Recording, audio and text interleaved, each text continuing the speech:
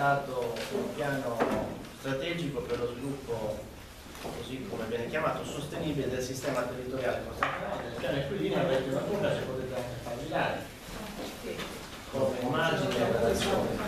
È composto di alcune decine di pagine, forse di più, eh, con una relazione di fattibilità. Eh, non ci sono, dico subito, non ci sono rispetto a quanto detto fino ad oggi, discusso ampiamente, eh, non ci sono grandi novità. Eh, di fatto si tratta di, non lo dico in senso negativo, eh, lo dico per, dare una, per chiarire che non ci sono, eh, come dire, non spuntano altri alberghi o altre, gli alberghi previsti sono quattro nel piano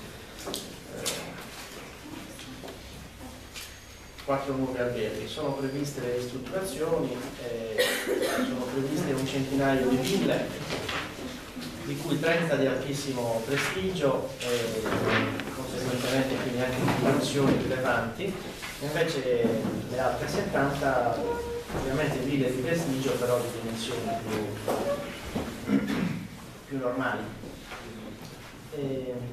C'è il, il, progetto di eh, che prevede la, la riqualificazione dell'area di Porto Cervo con tutta una serie di interventi, ci sono le schede, poi eventualmente potete fare anche delle foto e diventare dalle schede stesse tutta la descrizione.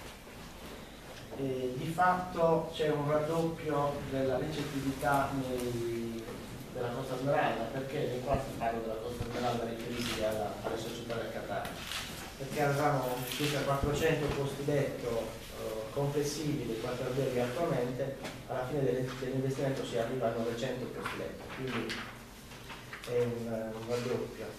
Eh, interessante come vengono sviluppati le tipologie di alberghi perché prevedono di fare un hotel nella zona del Tevero, eh, circa 90 camere, eh, un albergo nell'area della zona di Sciaruglia di circa 150 camere, poi quello che loro chiamano un family hotel di circa 200 camere, quindi per un certo tipo di clientela, se vuole un certo tipo di clientela. E poi eh, mi permetto di dirlo, seppure questo è buongiorno nel comune di Olbia.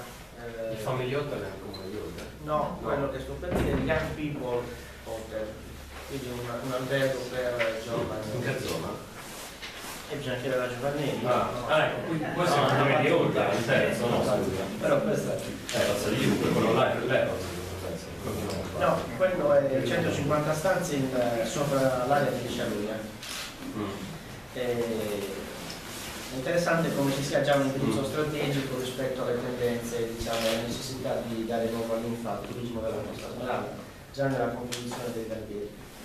E la parte che più ci interessa eh, come amministrazione, ovviamente tutta ci interessa, ma è quella che riguarda proprio l'infrastrutturazione e nuovi servizi. Infatti c'è scritto a chiare lettere nel piano strategico l'impegno a procedere in tal senso, quindi eh, nuova viabilità oppure ammodernamento della viabilità esistente, piste ciclabili eh, interventi di sistemazione eh, di implementazione del, del, sistema fognario, sappiamo tutti quale nodo è questo nel comune della Zacchena, e, e, anche del sistema idrico. interventi nelle aree, anzi costruzione di nuove aree parcheggio, e sappiamo anche questo che è un problema serio nell'arco della stagione estiva, e sono indicate tutta una serie di aree di parcheggio non solo nell'ambito della Costa Dorata ma soprattutto nell'area del villaggio di Porto eh, molto interessante eh, da valutare anche la, il progetto di riqualificazione di Porto Cervo dove al di là di qualche foto uscita questi giorni c'è tutta una serie di interventi anche qui per rendere la stessa Porto Cervo molto, la viabilità della stessa Porto Cervo molto più fruibile ma soprattutto la parte che a noi ci sta molto a cuore pedonale più ampia e diventano vere e proprie passeggiate in, in Europa